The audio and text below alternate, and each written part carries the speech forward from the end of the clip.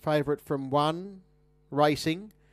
Shadow Eclipse near the inside was trying to muster, showing good speed as Pac-Man Hammer. It's just about across to the lead. And as they uh, leave the straight, Pac-Man Hammer crosses Shadow Eclipse up on the outside, Burning Rubber.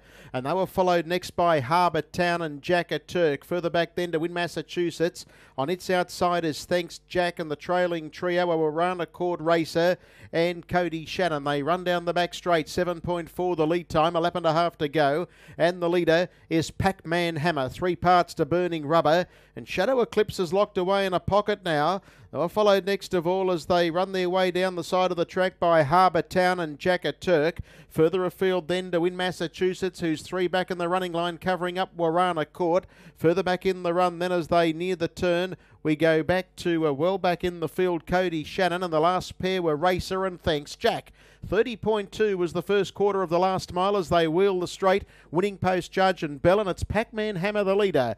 Was well tried to upset the apple cart here and beat the favourite. It leads out by about three parts to Burning Rubber and locked away with no racing room as Shadow Eclipse. One out, one back as Harbour Town.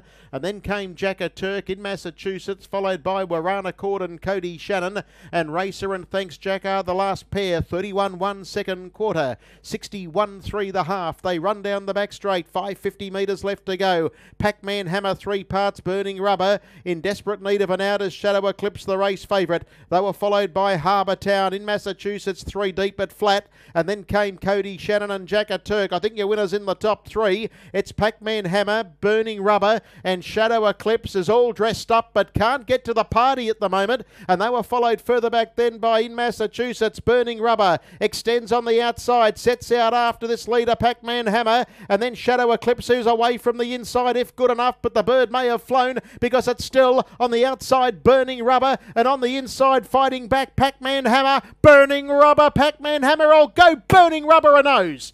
Burning rubber a nose to Pac-Man Hammer, but hang on to your brief. Third home goes Shadow Eclipse, and then came one of the real boulders, Cody Shannon. It might have got fourth over Warana Court, who was zipping home, but in the middle is Harbour Town in Massachusetts. They were followed by Jack a Turk, and one of the back end brigade were Thanks Jack together with Racer, and it's a photo finish.